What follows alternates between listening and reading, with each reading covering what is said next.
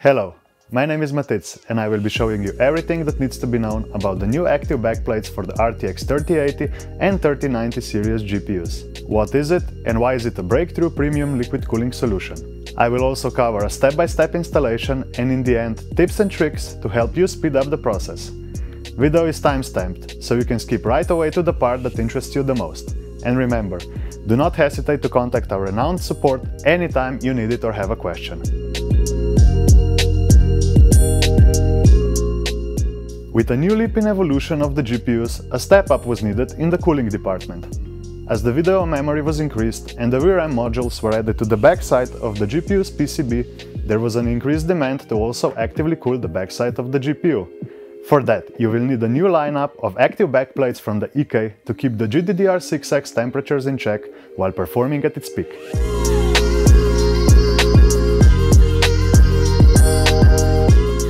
Active backplate is actually an entire water block but for the backside of the GPU, with a special terminal that replaces the one that comes with the front EK block, the coolant will be able to pass through the active backplate. We can see here that we have channels and fins for the coolant to pass right over the most heated part of the GPU's backside, the VRAM modules. Active backplate is made to match the existing EK water blocks, so if you already have one, this is a perfect upgrade for you. If not, hop onto the EK web shop and get yours today but make sure to check which one is compatible with your GPU model. You can do this at this link. Before we begin, inspect the box content and make sure your product didn't get damaged in shipping. You may find the installation manual by scanning the QR code at the bottom of the box. Before we can continue with installation of the active backplate, we need to have the block installed as per installation manual. Make sure you tighten all the screws to compress the thermal pads on the block. Once all the screws are tightened, you can begin preparing the GPU for the active backplate installation by removing all the screws according to the active backplate installation manual. Do not forget to remove the stock terminal as well. For this next step, we need to cut the thermal pads to size and install them according to the installation manual. Be precise, as the tolerances are really really tight. You must remove protective foil from both sides of the thermal pad before installation. In the end it should look like this. Keep in mind for this example we're using the Strix active backplate and the Strix block, so yours may differ a bit, depending on the GPU of your choice. One thing I need to mention is if you change the thermal pads to an aftermarket alternative, they might not be able to get compressed enough for the installation. EK thermal pads are soft and get compressed a lot, and the blocks and active backplates are designed with that in mind. In this next step, we need to remove the blocking terminal metal plate and check that the O-rings are in place. Loosen all three screws and remove the said metal plate. Once you have removed the metal plate, please check that all the O-rings are in place.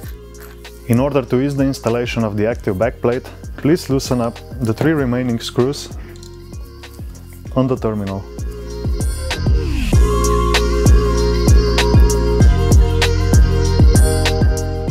Make sure that they are loose enough for the terminal to move a bit. Like this. Before we can finally put on the active backplate, please make sure that all the screw holes are aligned with the empty screw holes of the block. If you see they aren't aligned properly, please remount the block accordingly. Now we can finally install the active backplate. First, remove the three remaining screws in the terminal. Again, make sure that the O-rings are in place. Then slowly place the active backplate onto the block. Make sure that the RGB cable isn't interfering and that the holes are perfectly aligned.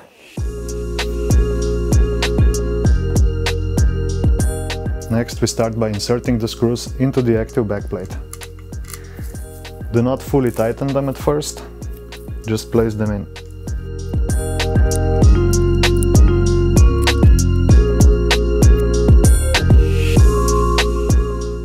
Okay, now fully tighten these screws in a cross pattern.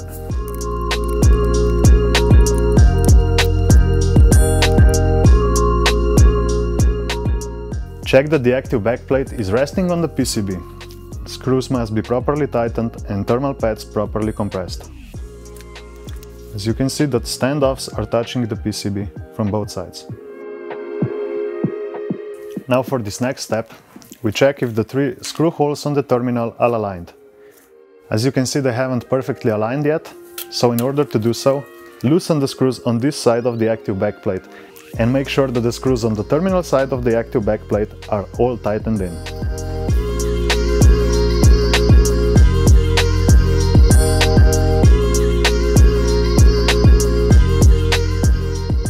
Squeeze the block a bit and the holes should align.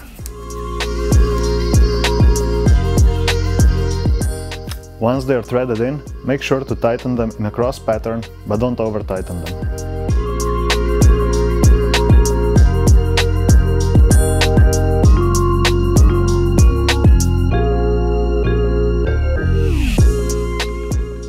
And remember, since we loosened all the screws on this side of the active backplate, tighten them all in to ensure the proper contact with the VRAM.